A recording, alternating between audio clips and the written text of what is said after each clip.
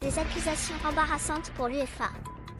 Selon The Guardian, qui a eu accès à des communications internes, son ancienne collaboratrice Sharon Burkhalterlo, directrice des opérations et spécialiste de la gestion d'événements, affirme que l'instance européenne a fourni de preuves complètement fausses durant l'enquête visant à établir la responsabilité des incidents qui ont eu lieu en marge de la finale de la Ligue des Champions entre le Real Madrid et Liverpool, le 28 mai 2022 au Stade de France 1 à 0.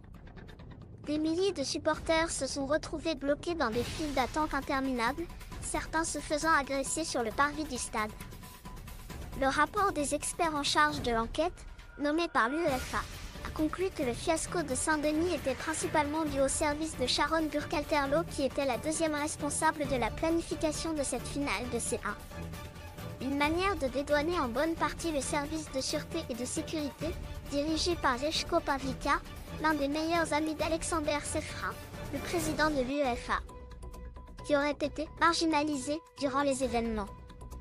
Des conclusions vivement contestées par Burkhalterlo, qui travaillait depuis 2022 au sein de l'instance, avant de démissionner en mai dernier.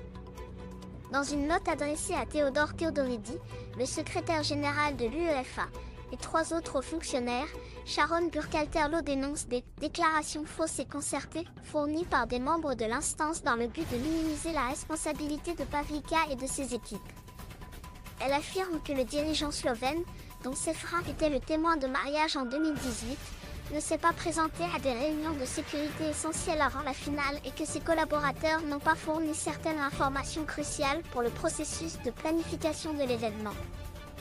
Dans son témoignage devant les experts en charge de l'enquête, qui n'a pas été inclus dans le rapport final, Pavlika a expliqué qu'il se trouvait dans la zone VIP du Stade de France durant la majeure partie de la finale entre le Real Madrid et Liverpool. Il a affirmé avoir été mis au courant de la crise lors d'une réunion à 20h45, durant laquelle Sefra a décidé de retarder le coup d'envoi. Garde du corps personnel de l'ancien président slovène Jan Danovsek, Dejko Pavlika cultive une amitié de plusieurs décennies avec Alexander Sefra, réélu en mai dernier à la présidence de l'UEFA jusqu'en 2027. Il a été nommé à son poste actuel en 2021, sans procédure officielle de recrutement.